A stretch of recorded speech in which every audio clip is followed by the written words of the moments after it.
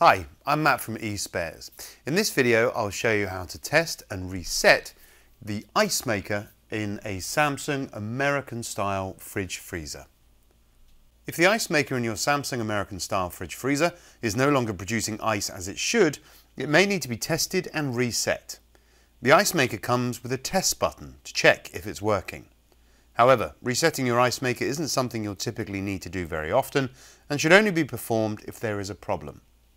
So before you do this, there are a few other checks you can perform first. Most models have a feature to disable the ice maker. Make sure this is not turned on. The next thing to check is the dispenser water pressure. To do this, dispense water into a measuring cup for 10 seconds. You should be able to get to 170 millilitres during that time. If not, your water pressure is too low. This could be caused by a water filter issue. If neither of these fixes worked, then it's time to test and reset the ice maker, which I'll do in just a second. But just to say that if you test and reset the ice maker and it's still not working correctly, it may be time to replace it altogether. And you can find out how to do that by following the link to our how-to video at the end of this video. To get to the ice maker, first you'll need to remove the ice bucket.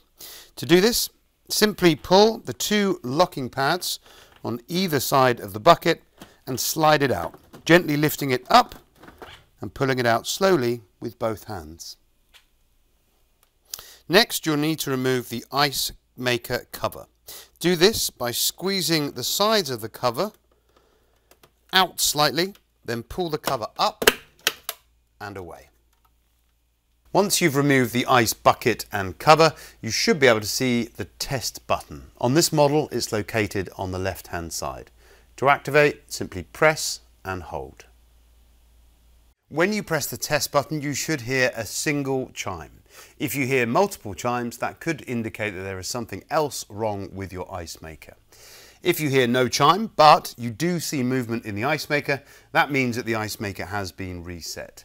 If you hear no chime and you see no movement in the ice maker, then you need to turn the fridge freezer off for two minutes at the wall before powering on and trying the test again. Now your ice maker has been reset, you can reattach the cover and then your ice bucket.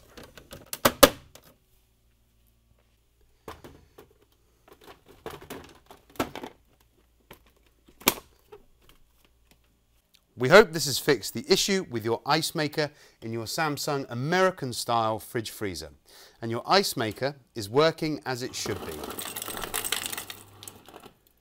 providing you with good quality ice. However, if your appliance is still not dispensing ice correctly, then there may be a problem with the ice maker itself and it needs to be replaced. Check out our video on how to replace an ice maker on a Samsung American style fridge freezer.